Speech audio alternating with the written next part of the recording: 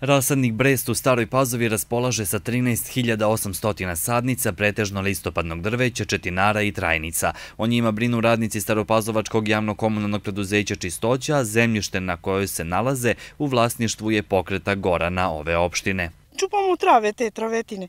Bilo je tu divlji mak, e, sirak, svašta što postoji od travetine, da štitimo ove biljkice. Rasadom sadnica Topole, Bresta, Jasana, Javora, Breze, Bukve, Jelki i Borova na površini od hektar i po u pomenutom rasadniku bave se četiri godine, a od pre tri postoji i staklenik. U nadležnom preduzeću ističu da je sve spremno za jesenju sadnju. U periodu vegetacije, to je o zdravstvenoj ispravnosti biljnog materijala, tu se radi još i čankovanje, formiranje habitusa, čupanje trave, odnosno da rasadnik bude uredan, a u periodu mirovanja, to je kad vegetacija stane, sve sadnice koje su odnegovane, pripremamo ih, vadimo i idu na stalno mesto negde na putni pojas ili na javne zelene površine. Saradnja Staropazovačkog javno-komunalnog preduzeća Čistoće i pokreta Gorana ozvaničena je pre četiri godine. S obzirom da je u opštini svega 3% površina pošumljeno, akcenat ovog preduzeća i organizacije u poslednjih pet godina je na sadnji drveća na putnim pojasevima.